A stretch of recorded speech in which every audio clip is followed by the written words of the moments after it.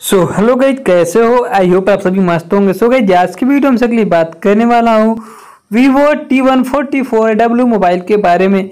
इसमें आपको मैं बताऊँगा कि आप इसमें ऐप आइकन को गोल कैसे करेंगे एंड राउंडेड कैसे करेंगे। जी दोस्तों, अगर आप चाहते आप इस मोबाइल में किसी भी सॉरी यहाँ पर ऐप के आइकन को गोल करना या और राउंडेड करना या छोटा या बड़ा करना तो एकदम सिंपल तरीके से कर सकते हैं।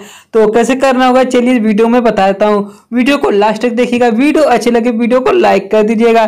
तो चलिए हम वीडियो को स्टार्ट करते हैं। सो इसको करने के लिए हमें फटाफट अपने मोबाइल की सेटिंग में आना होगा। तो मैं जाता हूँ अपने मोबाइल के सेटिंग में।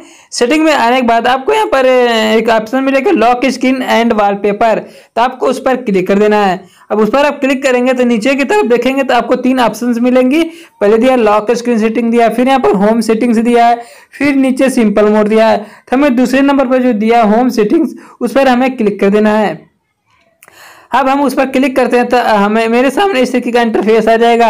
अब किसी भी आइकन को हमें छोटा, उसके साइज़ को छोटा करना है या बड़ा करना है या राउंडेड में करना है तो आपको यहाँ पर तीसरे नंबर तीसरे चौथे नंबर मिलेगा। Rounder corners and size of icons तो आपको उस पर सिंपली क्लिक कर देना है। अब इस पर क्लिक करेंगे तो आपके मोबाइल का जो आइकन है, इस तरीके का इंटरफेस में शो होने लगेगा। अब आपको देखना है राउंडेड कॉर्नर्स ऑफ़ आइकन्स को। यहाँ पर देख सकते हैं, यहाँ पर जो पहला ऑप्शन दिया है, यहाँ पर हमारा जो आइकन है अभी गोल में है। तो इसे हमें राउंडेड में करना है तो राउंडेड में यहाँ से इसे कर सकते हैं। तब देखते हैं, मेरा जो आइकन यहाँ पर राउंड में हो गया अब हमें इसमें इसे, इसके आइकन के साइज़ को भी छोटा या बड़ा करना है।